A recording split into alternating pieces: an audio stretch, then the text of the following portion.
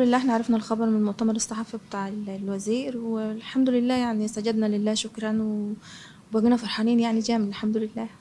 والله الحمد لله إحنا ربنا وفقنا ان يعني خلوا الجو ملائم فعلا المذاكرة وكنا بنشجعوه وهو الحمد لله يعني كان مع نفسه بيحب يجتهد ويذاكر يعني ما كانش محتاج إن حد يحفزه. آه، متظلمة من آه، من التعليم الجديد بس هو الحمد لله يقول لنا الحمد لله تمام يعني 100 أنا كان في دماغي مثلا أخش مثلا طب هو قال لا أنا عايز أخش هندسة عشان أنا نفسي ألتحق بالكلية بكليه دفاع الجو.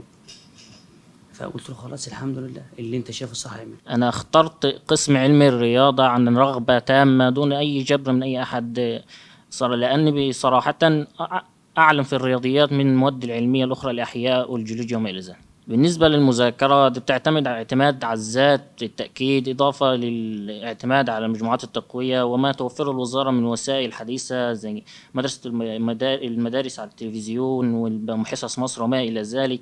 المتابعة مع دي كله والتنسيق بالطبع والتوافق مع الدروس والمجاميع أكيد هيكون عامل مهم للوصول للمستطيل.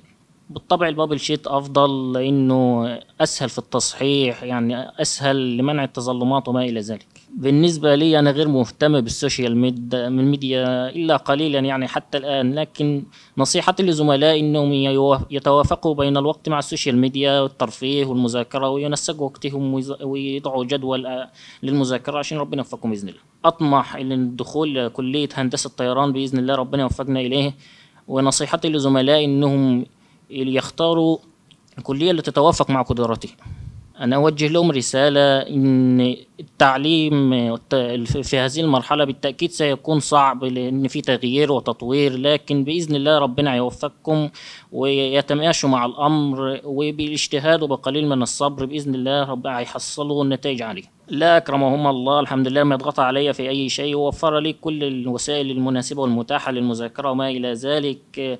والضغط قليلا بالطبع سأشعر بالضغط بسبب التغيرات المتتالية لكن الحمد لله ربنا وفقنا في الأخير بالطبع التشجيع الأول كان من الوالدين إضافة إلى المدرسين اللي علاقتي معهم طيبة والحمد لله وربنا يكرمهم جميعا.